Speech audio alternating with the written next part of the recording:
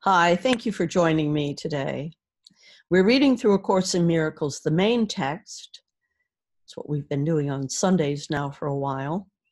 And uh, today we're on chapter 19, The Attainment of Peace, and section 8, The Attraction of Pain.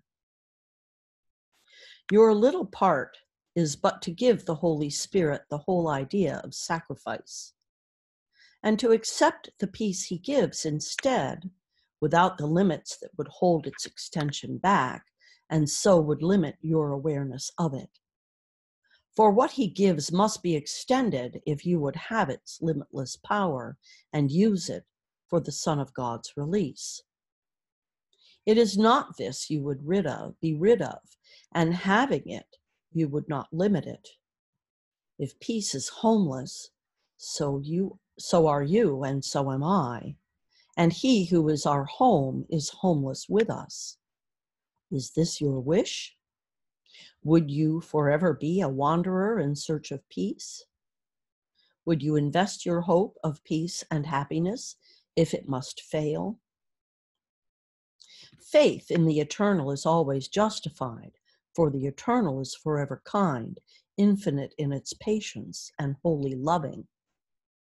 It will only accept you wholly and give you peace. Yet it can unite only with what already is at peace in you, immortal as itself.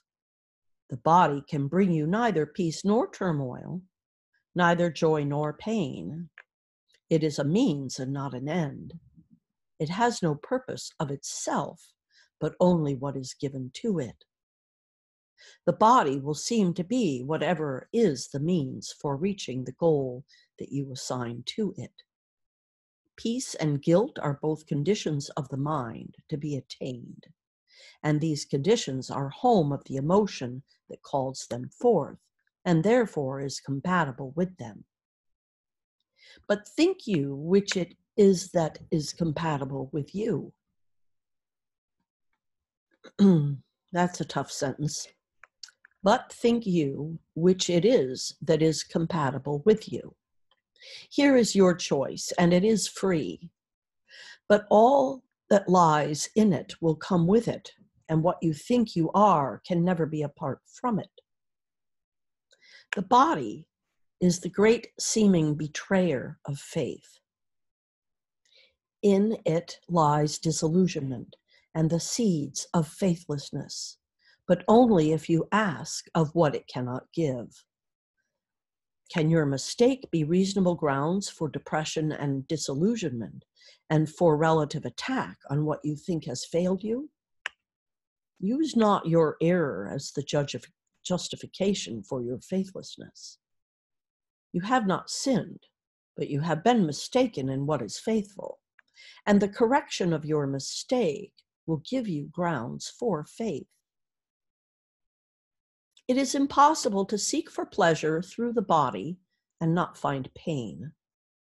It is essential that this relationship be understood, for it is one the ego uses as proof of sin.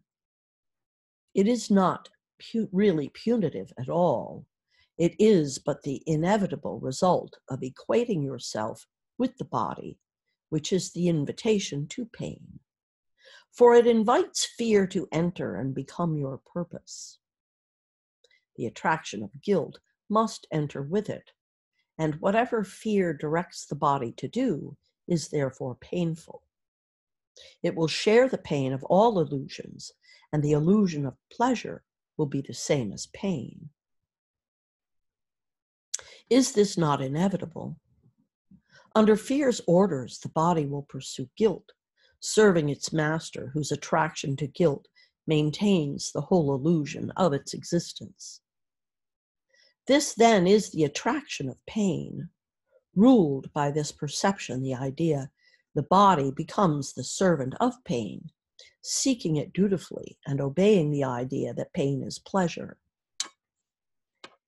It is this idea that underlies all of the ego's heavy investment in the body and it is this insane relationship that keeps it hidden and yet feeds upon. To you, it teaches that the body's pleasure is happiness. yet to itself it whispers it is death. Why should the body be anything to you? Certainly, what it is made of is not precious. And just as certainly, it has no feeling. It transmits to you the feelings that you want. Like any communication medium, the body receives and sends the messages that is given. It has no feeling for them. All of the feeling with which they are invested is given by the sender and the receiver. The ego and the Holy Spirit both recognize this, and both also recognize that here the sender and receiver are the same. The Holy Spirit tells you this with joy. The ego hides it, for it would keep you unaware of it. Who would send messages of hatred and attack if he but understood he sends them to himself? Who would accuse, make guilty, and condemn himself? The ego's messages are always sent away from you in the belief that for your message of attack and guilt will someone other than you suffer. And even if you suffer, yet someone else will suffer more. The great deceiver recognizes that this is not so, but as the enemy of peace, it urges you to send out all your messages of hate and free yourself. And to convince you this is possible, it bids the body search for pain in attack upon another, calling it pleasure and offering it to you as freedom from attack. Here, not is madness, and believe not the impossible is true. Forget not that the ego has dedicated the body to the goal of sin and places in it all its faith that this can be accomplished. Its sad disciples chant the body's praise continually in solemn celebration of the ego's rule. Not one, but must believe that yielding to the attraction of guilt is the escape from pain. Not one, but must regard the body as himself, without which he would die, and yet within which is his death equally inevitable. It is not given to the ego's disciples to realize that they have dedicated themselves to death. Freedom is offered them, but they have not accepted it. And what is offered must also be received to be truly given. For the Holy Spirit, too, is a communication medium, receiving from the Father and offering his messages unto the Son. Like the ego, the Holy Spirit is both the sender and the receiver. For what is sent through him returns to him, seeking itself along the way and finding what it seeks. So does the ego find the death it seeks, returning it to you.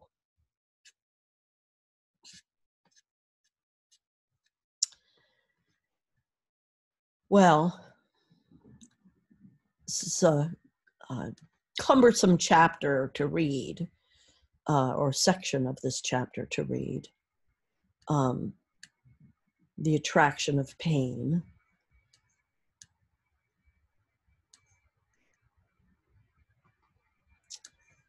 I think that that the thing to to remember as you're reading this section is to remember that you aren't your body, right? You are living in this body. This is the housing for you. But when this body ceases to function, you will not cease to be. Your spirit will go on, will live on outside of your body, and you'll return to source. So, um, pain is a 3D uh, physical manifestation when we are not in physical form, we do not experience pain. So, this is totally a function of your body and your housing. So, I don't know if that makes any uh, sense or helps at all uh, with this lesson today. If you need additional support, you can feel free to reach out to me 907 351 3003. Uh, message me on Facebook or YouTube or SoundCloud or through my websites, Angels Rest No, sorry, that's my lodging website, lyndalamp.com and lyndalamp.shop. Much love and namaste.